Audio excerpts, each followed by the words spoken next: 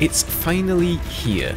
The day is upon us. Venice Unleashed has officially released and I've been trying it out, having a nosy around the server browser to see what sort of mods we can toy around with. Now, what you're seeing here in the background is a modded server called Infection. Basically, Battlefield Zombies. And it is an absolutely genius usage of a night map in the form of Epicenter from the Aftermath expansion. If you're a soldier, you have an LMG and a pistol, and if you're lucky, one of them will have a flashlight on it, because this map is almost completely pitch black, save for the odd neon sign and distant muzzle flashes from your teammates as they scream their final breath before a zombie devours them. Now the atmosphere that the creator has brought into this map is amazing. If you're running around, you can't see one foot in front of the other and you know, you're legit worried that you're going to get jumped by a zombie. The tension is palpable. So in typical zombie fashion, once a zombie knifes you, you too will become a zombie. And I really like this nice overlay that's been custom made here. I think out of all the mods I've tried so far, this one feels the most polished and fun to play. He's also made use of the game's thermal vision that would normally be reserved for tank or heli gunners and special weapon sights, but here the zombies use it to easily see around the map. So Ghost, how can I gain access to this mod? I hear you cry.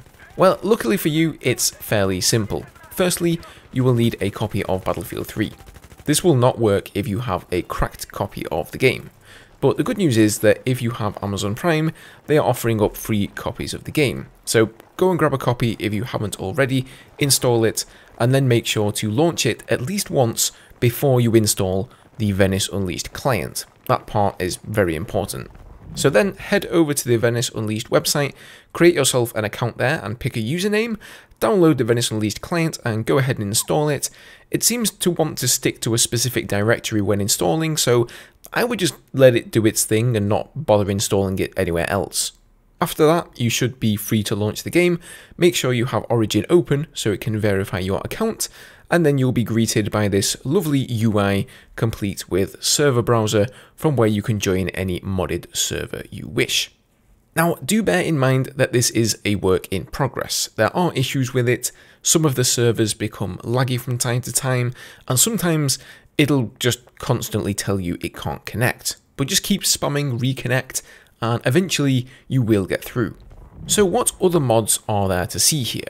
Well, one of the major changes with Venice Unleashed is that you have 120 tick rate servers, so hit reg is dramatically improved over the regular Battlefield 3 servers.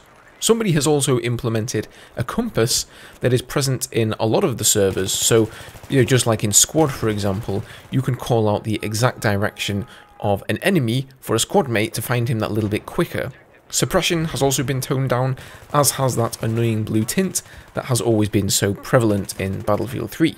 So some of these mods are small, you know, quality of life changes that you perhaps won't notice right away, but actually make some of the biggest differences. I believe there are even going to be servers with more than 64 players available at some point, but I've yet to find any so far. Now, as for other modded servers, one thing is apparent to me. Just like the infected server that I showed you guys earlier, a lot of these custom game modes are there mainly just to showcase what can be accomplished with this mod and the kinds of things that you can tinker around with. So the Chaos mod server here is a very good example of that. Every time you spawn in, you'll get a random weapon. Sometimes it's the Ultra AEK that fires RPGs instead of regular old bullets. And other times it can be the souped up P90 that delivers 12 gauge shotgun rounds. And then layered on top of that mechanic, you also have a random chaotic element that affects everybody. So sometimes you just randomly spawn up in the air and you have to perform a halo jump, which I might add when coupled with the Ultra RPG spewing AEK can be quite a lot of fun. Other times, you'll get the super jump ability or even wall hacks of all things. The first time I saw that one, I thought I was going to get banned pretty soon until I realised that it affected everybody. Now, there are also several other servers that have kill streaks enabled. So, just like in Call of Duty, as you score points, you unlock kill streaks that are selected by you from the spawn menu, and you can then use them in game. So you've got things like Smokescreen that just spawns a ton of smoke grenades, or Artillery Strike that rains fire from above. Now obviously, these abilities are completely overpowered and don't really have a place in a Battlefield game. But this game mode is, you know, obviously just a bit of fun. There's also a new spectator mode, which I've been having a load of fun with. I've honestly never seen Grand Bazaar from this perspective, and for anyone out there wanting to create cinematics or, you know, take fancy screenshots, this is going to be an awesome tool.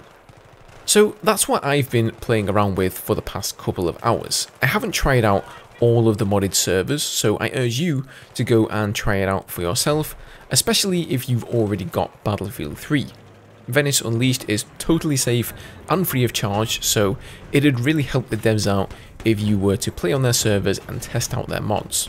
So far, I don't think I've found a mod that I could you know, sink a massive amount of time into. They're mostly just playgrounds for me to have a bit of a laugh in, but this really opens up the possibilities of what kind of mods can be created, and I'm really looking forward to the reality mod for Venice Unleashed. Guys, let me know if you discover any cool modded servers that I haven't mentioned in this video.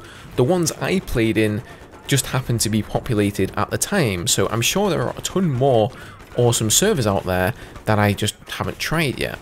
As always, leave your thoughts down below, hit the like button if you enjoyed the video, and I'll see you guys next time.